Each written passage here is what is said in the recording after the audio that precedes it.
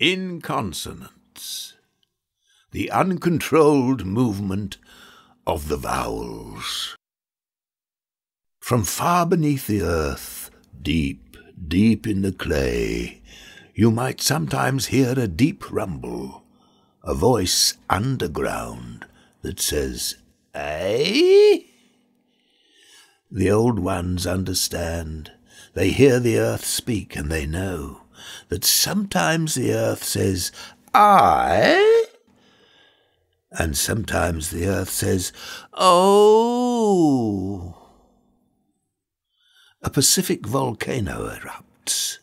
Lava flows red to the seas, and rock and ash and earth fly through the air with the greatest of ease. The vowels of the earth in places they spread far and wide. Maui, Hawaii, Oahu, they have come to the surface and dried. In times of prolonged drought, the length of a word may grow shorter. When it hasn't rained in Yorkshire for six months, there is no effing water. Two T's, an L, an N, and an S years ago wasted away, the lost consonants of Atlantis, or AAI as we know it today. The earth is a teacher. We may listen and learn if we choose. The very first sound in the world was the sound of primordial ooze. The earth teaches us well another new concept is born as from the four corners of the globe comes the idea that the globe has corners. I have been to the ends of the earth.